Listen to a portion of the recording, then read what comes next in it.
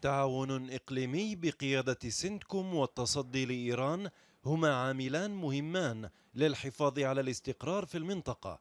هذا ما أكده وزير الدفاع الإسرائيلي بيني جانتس خلال لقائه بقائد القوات الأمريكية المشتركة الجنرال مارك ميلي. يجب أن نذكر أن ميزات الحرب تغيرت لكن الطبيعة لم تتغير.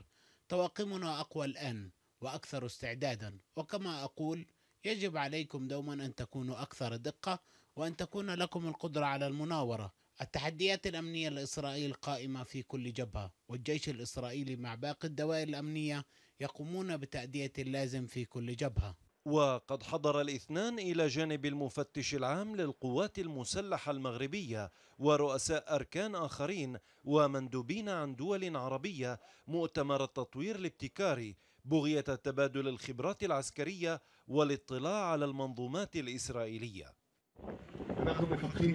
نحن نطور قدرات تعتمد على الأقمار الاصطناعية من أجل مساندة الجنود على الأرض وأنتم أيضا بدأتم باستخدام أجهزة البرمجيات على مستوى الفرقة والكتيبة والتي من شأنها أن تساهم في تعزيز قدرات إطلاق النار وتلقي المعلومات الاستخباراتية ومستوى الدمار يعتمد على مستوى كشف العدو.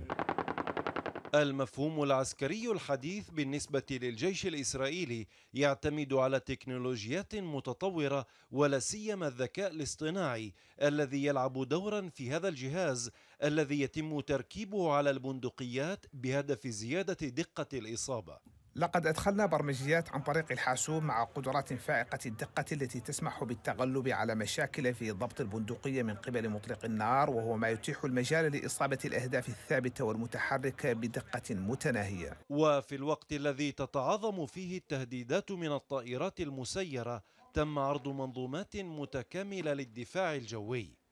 مؤتمر التطوير الابتكاري ركز على إدخال التكنولوجيا إلى ساحة المعركة بحرا برا وجوا وذلك من أجل مساندة الجنود وهو ما اطلع عليه قادة الجيوش التي حضرت إلى هنا.